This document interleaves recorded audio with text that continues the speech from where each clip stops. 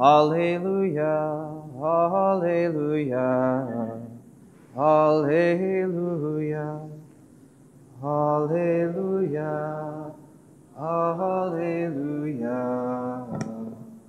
Alleluia. Blessed be the Father of compassion and God of all encouragement, who encourages us in our every affliction. Alleluia. Alleluia. Alleluia.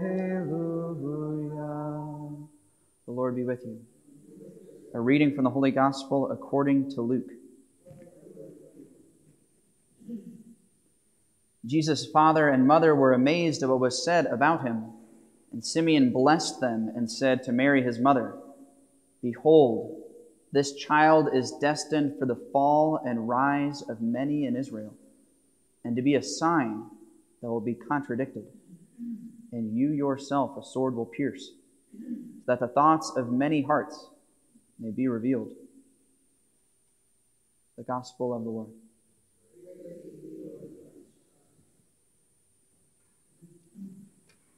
Today is the feast of Our Lady of Sorrows. So that was why Jane was wondering if we were supposed to do the sequence today. We probably would have, but got started a little bit late, as usual. Basically, got started on time compared to normal. Uh, so today is the, the Feast of Our Lady of Sorrows, and I don't know if you guys realize this, but there's actually a, a parish in our diocese whose patron is Our Lady of Sorrows. Uh, does anybody know where that church is in the diocese? It's in Wheatfield, Indiana, way up north. And the parish is called Sorrowful Mother, which I always thought was pretty strange. And I always wondered, I wonder what it would be like to be the marketing person for Sorrowful Mother Parish. Come and experience the joy at Sorrowful Mother, right? Be fully alive at Sorrowful Mother Parish, right?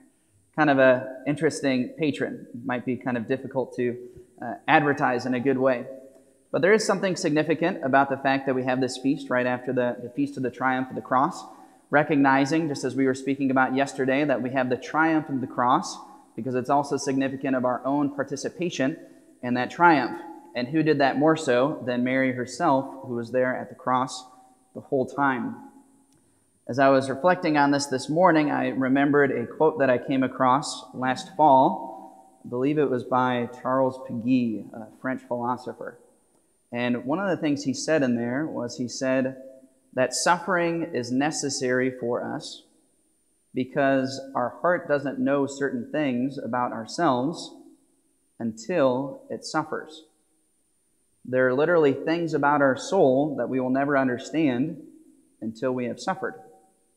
Even Christ Himself, God in the Godhead in heaven, God, Father, Son, and Holy Spirit, literally cannot suffer and the divine nature. There is no such thing as suffering.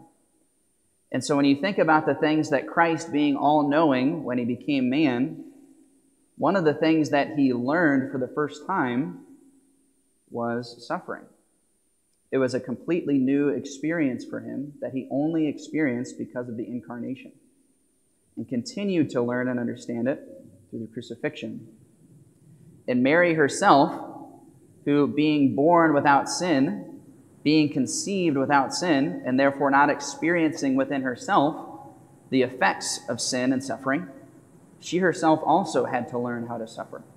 And she did it primarily at the cross.